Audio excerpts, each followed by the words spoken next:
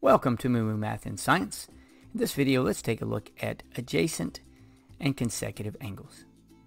If you take a look at these quadrilaterals, can you identify the adjacent angles and the consecutive angles? Let's first define them. Adjacent angles share a common line and a common vertex, which is a point where the two lines meet.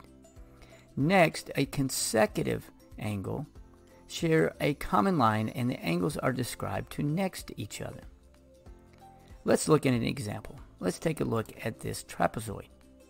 Angles A and B are considered consecutive. Notice that they do share a common line, but the angles are next to each other. Angles B and C, same thing. Common line, angles next to each other. C and D, same thing, common line and D and A are consecutive angles. Common line angles next to each other. Now let's contrast that. Let's draw in some diagonals. And let's label the vertex in the middle E. Now AEB is adjacent to BEC.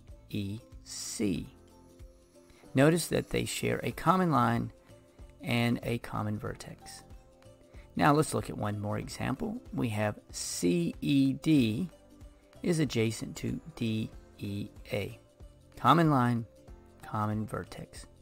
So in summary, an adjacent angle share a common line and vertex, and consecutive angle share a common line, and the angles are described as next to each other. Thanks for watching, and Moo Math uploads a new math and science video every day.